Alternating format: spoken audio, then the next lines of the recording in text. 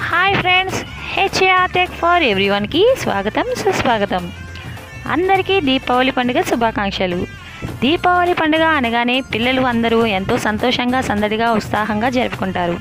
అలాంటి దీపావళి పండుగ అంటే పిల్లలకి ఎంతో ఇష్టం కదా? మరి ఈ సంవత్సరం మన దీపావళి పండుగ అలాగే బాలల దినోత్సవం రెండూ ఒకే రోజు రావడం ఎంతో విశేషం.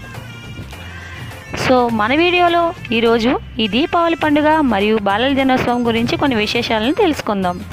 మరి మన వీడియోలోకి వెళ్ళే ముందు ముందుగా నా ఛానల్ని ఎవరైనా సబ్స్క్రైబ్ చేయకపోతే పక్కనే ఉన్న రెడ్ కలర్ సబ్స్క్రైబ్ బటన్ని క్లిక్ చేయండి.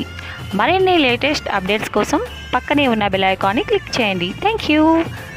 మరి ఇంకెందుకు ఆలస్యం? మన వీడియోలోకి వెళ్ళిపోదామా? Let's go. సాధారణంగా నవంబర్ నెలలో వచ్చే ఆశ్వీజ మాసంలో దీపావళి పండుగను జరుపుకుంటాం. అసలు దీపావళి రావడానికి గల కారణాలు ఏంటో తెలుసా? ఇప్పుడు ఒక చిన్న కథ ద్వారా మనం తెలుసుకుందాం. విష్ణువు యొక్క అవతారాలలో వరాహ అవతారం ఒకటి. వరాహ అవతారానికి భూదేవికి మధ్య జన్మించిన వాడే నరకాసురుడు. నరకాసురుడిలోని రాక్షస లక్షణాల వలన అతని చావు విష్ణువు చేతిలోనే ఉంటుందని తల్లి భూదేవి భావిస్తుండేది. అప్పుడు భూదేవి విష్ణువును తనకొక వరం కావాలని కోరుకుంటుంది. విష్ణువు ఏం వరం కావాలి అని అడుగుతాడు.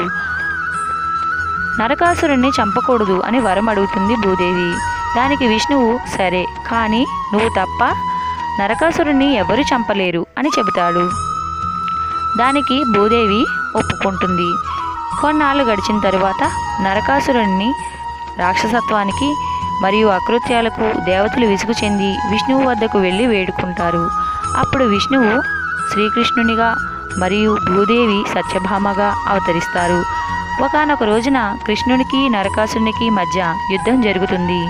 దానిలో కృష్ణుడు గాయపడి స్పృహ కోల్పోతాడు.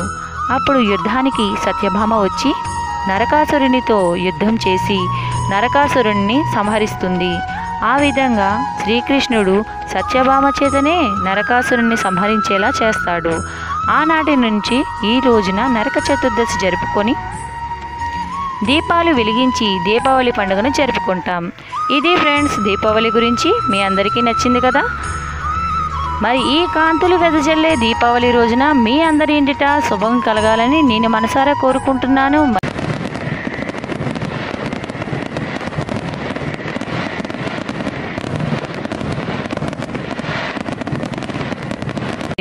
ఇప్పుడు మన చిల్డ్రన్స్ డే గురించి తెలుసుకుందాం. హాయ్ పిల్లలు!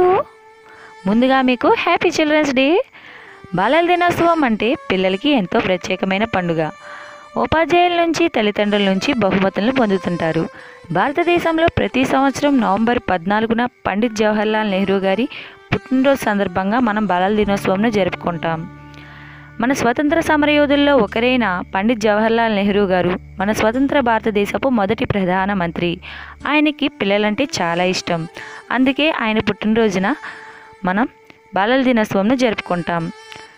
ఈరోజు ఉపాధ్యాయులు పిల్లల్లోని ప్రతిభను గుర్తించి అనేక పోటీ పరీక్షలు మరియు ఆటలను నిర్వహించి వారికి బహుమతులతో వారిలో ఉన్న ప్రతిభను ప్రోత్సహిస్తుంటారు.